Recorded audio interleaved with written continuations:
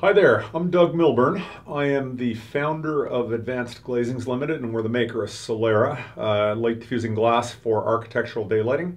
And I'm here with Sara Ripley. And Sara, tell us a little about yourself. Yeah, so uh, I'm a physicist at Advanced Glazings. I work with the research and development team, um, working on various various projects uh, that pertaining to the development of Solera, and I also spend a lot of my time uh, working with clients uh, and architects on uh, radiance modeling, daylight modeling.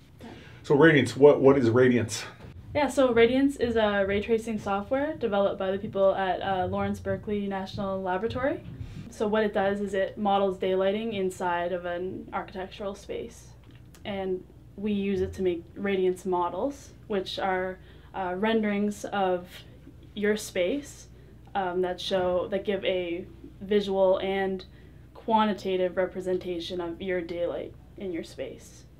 Okay, right on. Um, from what I understand, and I'm not a user of it, but long time familiar, uh, it's tough. It has a learning curve to it. Yeah, it definitely does. Um, it's it's not uh, GUI. It has a uh, it's all it's all command line stuff. Um, so we've kind of we've developed a expertise to it. Okay. Yeah.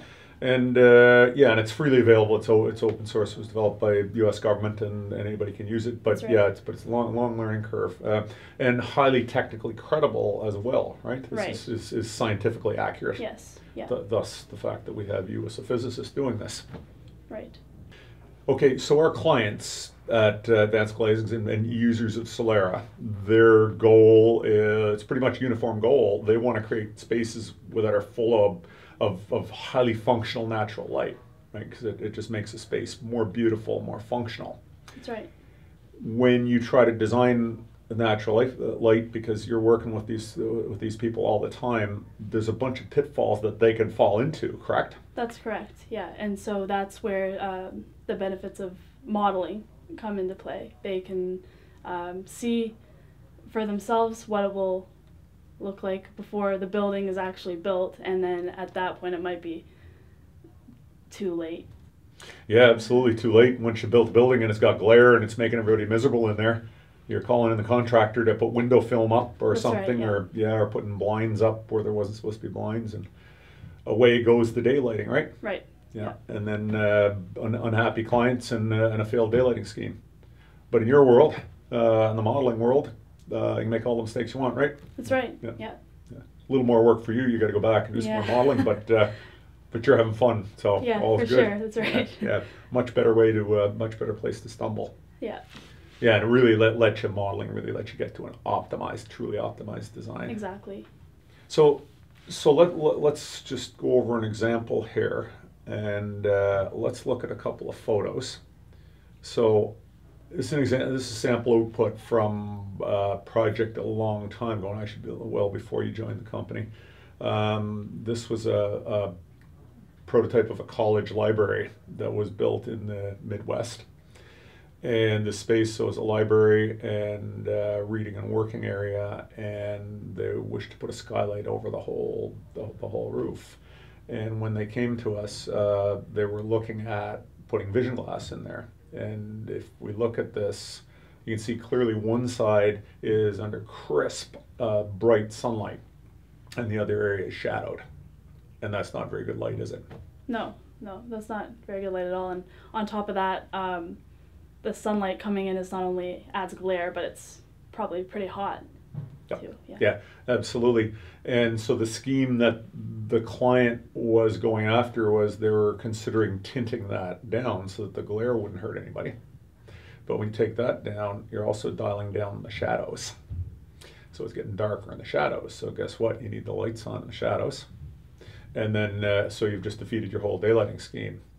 On top of that, we uh, the other thing when you use dark tints, um, permanent late November and, uh, and and gloom and doom, right? That's right. Yeah. Yeah. Nobody wants to be sitting around uh, looking at gloom and doom, and uh, it, it is depressing to be in a building that's that's built with uh, with tints that are too heavy. So a little bit of radiance modeling, and we changed the um, glazing from Vision Glass to Solera. There's no real view up there. Nobody looks at the clouds and the uh, and the birds up there in normal circumstances. And what's this next picture showing? Yeah. So, Yeah. What, is, so what, what do we see on uh, so on this rendering? We see what? Yeah, so we see um, like uniform, soft, gentle daylight throughout the whole the whole space. Um, you can imagine sitting there reading a book. You don't need any artificial lighting. Um, it just it's a it feels good to be in the space. Um, it's just yeah a great place to be. Um, yeah, great place to to learn. Right on. Yeah. And, and that's what our clients are after, isn't it? To, That's to, to create great spaces with daylight within the practical constraints that they have. Yeah, yeah and Radiance, obviously, you look at those photos, and Radiance is just an awesome tool for being able to see that, being Yeah. able to see the impact of design, design decisions like that. For sure. Yeah.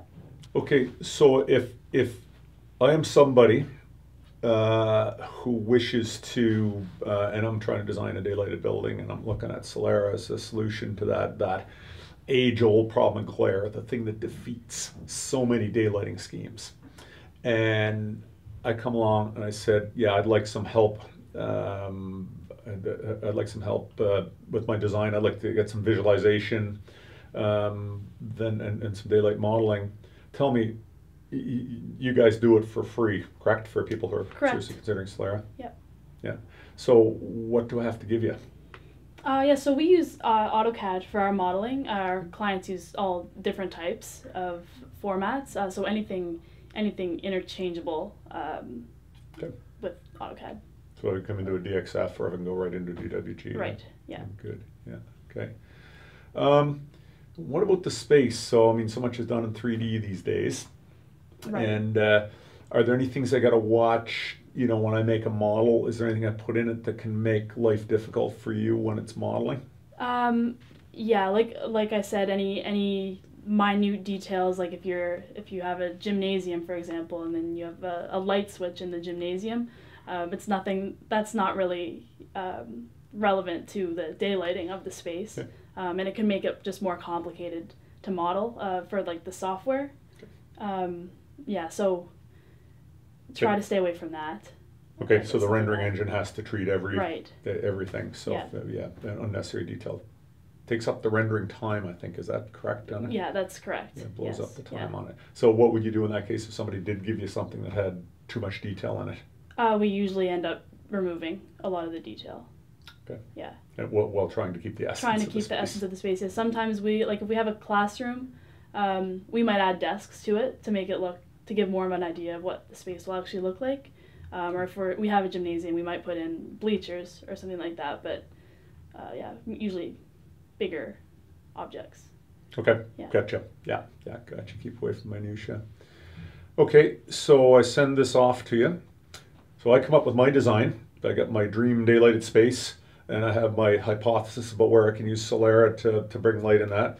And I send you in an appropriate CAD file and uh, lighten the details.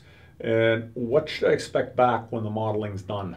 Okay, so so yeah, you get um, you get renderings of your space, uh, and the renderings um, they really give a an idea of how it feels to be in that space. Uh, yeah, so they're subjective um, to the client. Okay, Uh, well, and, and which is incredibly important to, to get, you know, we design spaces, yeah, and of course, everybody designs buildings is familiar with doing renderings, but to actually render the daylighting and feel the daylighting in there, it's a whole new dimension, isn't it? that's right. Yeah. So what about if I want something more quantitative? Um, you know, I'm thinking, say I'm, I got a specification, I'm designing a school, and I got a specification for daylight in the, on the, on the, on the boards or something like that. Can, can you guys deal with that? Yeah, for sure. Yeah, we also um, offer uh, false color renderings that give um, that show the illuminance levels within a space. Okay. Okay. Uh, yeah. And out of those two, we really get a sense of where the pitfalls are. The pitfalls are is, is, is parts that are too dark right. and parts that are too bright, like the the, the, The glare. monster, the glare That's right. monster. Yeah, Yeah. That, that that defeats projects. Yeah, yeah. And uh, we can always fix up. You know, in a real world, in an ideal world, we'd be daylighted everywhere, but we can fix up places that are a little too dark with a touch of supplemental lighting, especially if it's back if it's controlled automatically. And uh, but glare we can't fix, can we? It's, That's right. You know, glare is built into space. When we, we try to fix glare, we depower the whole thing. So Mhm. that's really the monster we have to we have to watch for, isn't it? So Sara, this is uh, you know it's, it's an interesting thing you do here. You know, you get to be part of. There's a whole movement in the world towards natural lighting, which is wonderful for both the human side of it, and you know, as well as the fact that it's it's more energy efficient and a much more sensible way to to, to build buildings.